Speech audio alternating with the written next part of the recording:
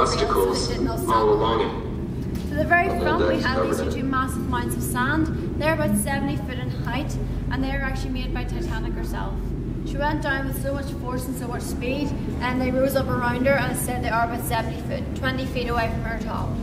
So if you look closely at the sides, you can make out the the, railings. They're still attached. The they're very still last very part well of preserved. Titanic to go We also have the two lengths of chain running up the front. to the One of this is for the other, uh, for, for the anchor. The other, however, is just for decoration to make it look symmetrical. so you have all the different bits there. You have all where they would wind up the chains, the ropes, the cables. There you go. But they're all still I'll there, still attached. She is very well preserved for a ship of her age. And What we have running across the front is the foremast. It fell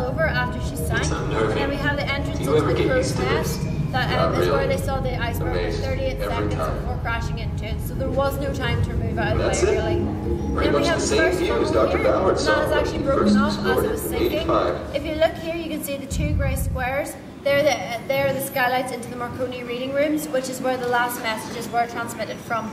We then have this here opening down to where the grand staircase would have sat before it was blown out of the glass dome as the water gushed in. We then have where the second funnel would have sat before it collapsed. And then we have the two lifeboat davits sticking out the side, one on either side. They were to lower down the lifeboats. They are still in the outward position. We then have where it came to a break. So the very front of the ship is very well preserved, as you've seen. That's because as it was sinking, it was filled with water, so there wasn't a change of pressure as it went down. The water outside and the water on the inside were of equal measure, so therefore it didn't crush in itself.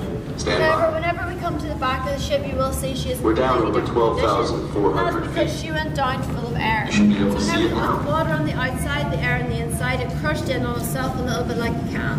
That air that then needed to make That's it? escape, that went out by causing the an explosion in the side of the ship. Pretty incredible. She is very well. She very structurally damaged. She was also rotating as she went down, so that rotation We're caused a lot of damage before she even got down there. It's all still Here you there. I can can, see she's coming I can view. see the rails. the two um, bits where you would have had the engine sitting before they fell off.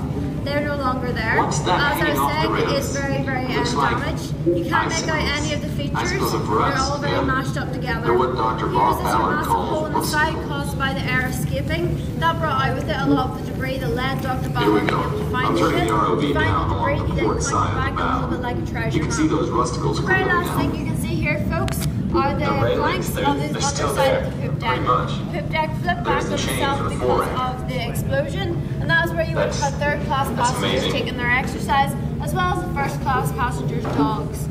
So whenever Dr. Ballard found Titanic, he also found a new type of bacteria that is actually eating away at the ship and all the wood, the metal that it's made out of. So they're not quite sure of the time frame. However, eventually Titanic will be consumed by this bacteria. The only things we'll still have down there are the likes of the shoes and the crockery because they can't be consumed by this bacteria. So folks, you are now exiting through the yellow tunnel. If you haven't done so already though, take a look at the debris pods. They'll show you some of the things that was found under the 8 mile radius.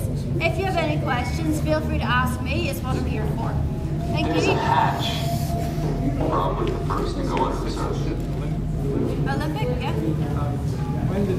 What are those? Capstans. The winding Um, ropes, I think it's in cables. Let me rotate the ROV. It's sort of stopped after the war, but it's still as a Britannic as well. Britannic was hit by a mine while she was Now we're looking back down the anchor chain. And the Olympic Unbelievable.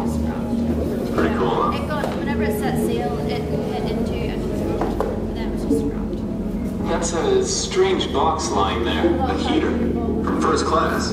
It's fallen out of place. You'd only get third class in this part of the ship. Pop, você mais Hang uma on, foto.